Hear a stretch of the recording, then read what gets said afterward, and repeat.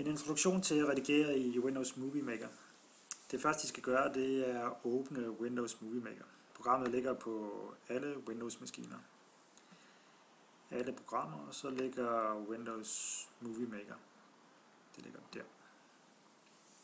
Så åbner programmet, og det første, vi gerne vil gøre her, det er at importere noget video. Og det gør vi under video. Her hos mig, der ligger der tre videoklip. Dem vil jeg gerne bruge, så dem importerer jeg.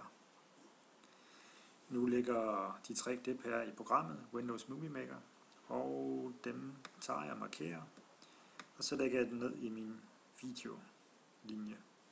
Nu har jeg cirka 30 sekunders video liggende hernede, fordelt på tre klip. Det første klip her, det er et klip med bjørnen. Det er for langt, synes jeg, så det vil jeg gerne have delt op og klippet noget væk. Så jeg siger split, og så har jeg opdelt klippet her. Jeg deleter øh, på computeren her øh, den ene del af det, og så er der en mindre del tilbage. Her i starten af arbejdet så er det vigtigt, at man husker at gemme filen, så jeg gemmer mit projekt. Det er en Windows Movie Maker fil, jeg gemmer. Jeg kalder den for test.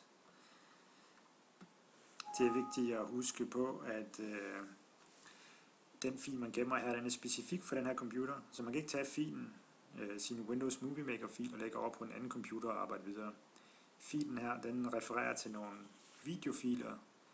Det er de filer, jeg har, som ligger her på den her computer. Så man kan ikke bare tage sin Windows Movie Maker fil og lægge over på en anden computer. En anden ting, man skal være opmærksom på, det er de filer, man har lavet med sit digitalkamera eller sin mobiltelefon. De skal være kompatible med Windows Movie Maker, og under hjælp, der kan man se, hvilke filer, der er kompatible med Windows Movie Maker. Det er der en del filer, som er, men der er også nogle, som ikke er, for eksempel MOV-filer. Okay, tilbage til redigeringen. Det næste, vi gerne vil, det er at arbejde med et klip, som vi deler op. Det siger vi opdel til, og så vil vi gerne have det her søklip til at ligge inden mellem de to sommerfuglklip. Man kan altså flytte rundt på klippene, som man vil, og få dem til at passe med den rækkefølge, som man selv skal bruge. Øhm, hvis man kigger på overgangen mellem søen og sommerfuglen her, så er det meget abrupt. Så ved at trække sommerfugleklippet ind over søen, så vil man få en mere flydende overgang. Det kan vi se her.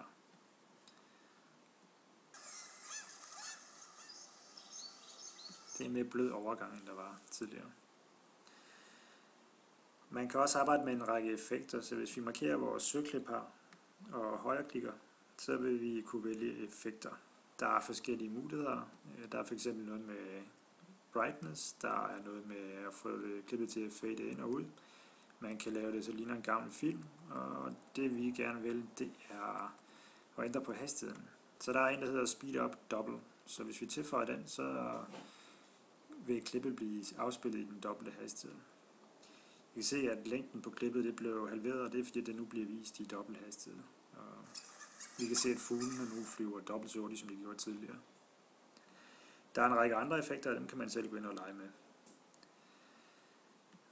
Vi har også mulighed for at arbejde med billeder, så tidligere der importerede vi en videofilm, og nu vil vi prøve at importere et billede. Det er meget smart at lægge nogle billeder på, der kan illustrere noget af det, man arbejder med. Og øh, i det her tilfælde, så har vi et billede, der viser noget med fotosyntesen. Det tager jeg og trækker ned i min linje hernede, og så kan vi se, så ligger der et billede her. Længden, øh, hvormed det her billede skal vises, det er 5 sekunder her per default. Det kan man gå ind og trække og udvide, så det bliver vist i, i det her tilfælde måske op til 15 sekunder, eller man kan også gøre det kortere. Det bestemmer man selv. Så nu har vi lagt øh, video ind, og vi har lagt øh, billedfiler ind. Det næste vi gerne vil, det er at lægge noget tekst ind. Når man lægger tekst ind, så vælger man det, der hedder titles. Og der har man en række muligheder. Det første det er at lægge noget tekst før et klip. Så vi skriver teksten ind her. Hej hej. Den her tekst den bliver vist på en blå baggrund lige nu. Øh, og man har selv mulighed for at gå ind og ændre på farven af baggrunden og også på fonten af teksten. En anden mulighed vi har, det er at man lægger noget tekst ind over et klip, title on selected clip. Og her der vil jeg så skrive, at det er en bjørn. det tilføjer jeg så. Så kan I se, at teksten ligger hernede. Og lige så vel som med billedet, så kan man gå ind og ændre på, hvor lang tid teksten skal vises. Så nu har vi en bjørn, og der står også, at det er en bjørn. Det næste vi vil, det er at indlægge noget speak. Der kan være, der er noget speak på, på videoen i sig selv, men det kan også være, at man vil lægge noget speak ind over for eksempel et billede her. Og der vælger vi her det, der hedder timeline, og så er der noget, der hedder narrate timeline. Når man vælger den, så kan man gå ind, og så siger man start med at optage, og så vil den optage et lydspor, som bliver lagt ind i proceslinjen her. Okay. Man kan også lægge øh, musik ind over, og det gør man under Audio Music, som er her. Og så har jeg en række musiknumre liggende. Jeg vælger et tilfældigt musiknummer, og så bliver det her nummer importeret. Det kan jeg så trække ned i min audio-linje, som ligger her. I kan se, at det er alt for langt det her klip, så jeg går ind og deler det op. Og så siger jeg delete på en del af det. Det her klip, øh, det er vigtigt at huske på, at når man skal klippe det her, så skal man få markeret musikklippet, og så kan man opdele det. Ligesåvel så når man skal redigere i et videoklip op, så skal man markere det relevante videoklip. Nu kan vi så høre, at der er musik på, og at det er ret højt. Og jeg vil faktisk gerne have øh, ændret lidt på volumen, så det bare er baggrundsmusik, så jeg sænker lydniveauet for det her musiknummer. Og så kan vi så høre, at vi nu både kan høre fuglene og musikken, som er bare baggrundsmusik. Nu er vi faktisk færdige. Vi har fået lavet et fint klip med noget tekst, og der ligger noget video, og vi har sat en billedfil ind og lagt noget under, øh, underliggende musik på. Når man skal publicere, så skal man vælge denne computer, og så er der et navn, den hedder bare test 2 her. Så siger jeg next.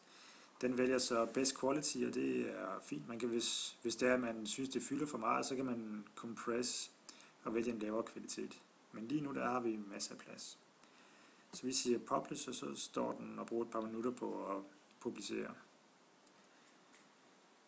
Den feed, der kommer ud af det, den øh, kan man uploade på YouTube, og jeg foreslår, at hvis I ikke har en YouTube-konto, så opretter I en konto på YouTube. Derefter så, når I har jeres feed, så kan I så uploade den på YouTube. Det er sådan, så der er mulighed for enten at, at vælge, at den er public, den video man lægger op, så alle kan se den, og man kan også vælge, at den skal være privat, sådan, så der er ikke andre, der kan se den, end dem, som får linket. Øhm, og når man så har et link, har uploadet den her video og har fået et link, så kan man sende det til mig for eksempel, hvis det er en produktion, man har lavet som en aflevering. Og så kan jeg så se jeres produkt